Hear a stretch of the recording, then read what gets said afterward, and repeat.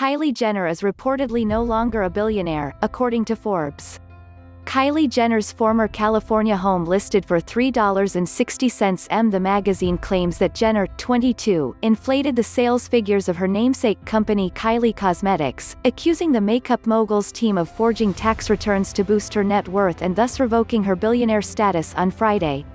Forbes named Jenner the world's youngest self-made billionaire at 21 on its March cover last year after she sold Kylie Cosmetics to beauty behemoth Coty in a deal valued at $1.2 billion.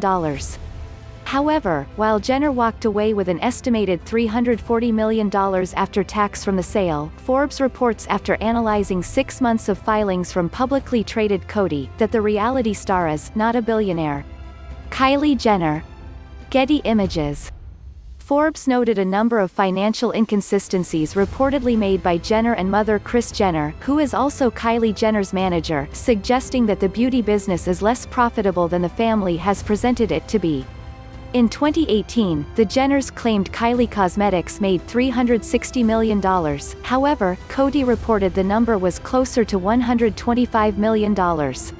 Kylie Jenner unloads $600 million stake in beauty company The magazine reported that Jenner's rep claimed Kylie Jenner's skincare line, which launched last year, made $100 million within a month and a half of its debut, however, the filings showed it was slated to end the year with $25 million in sales.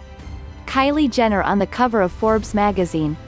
Forbes Forbes said in the report that the Jenners likely had an accountant draft false tax returns to show the magazine in order to help juice Forbes's estimates of Kylie's earnings and net worth.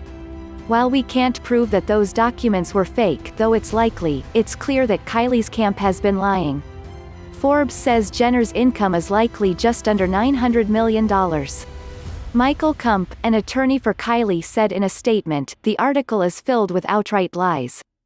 Forbes's accusation that Kylie and her accountants forged tax returns is unequivocally false and we are demanding that Forbes immediately and publicly retract that and other statements.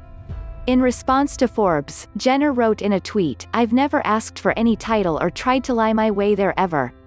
Read more on Fox Business by clicking here.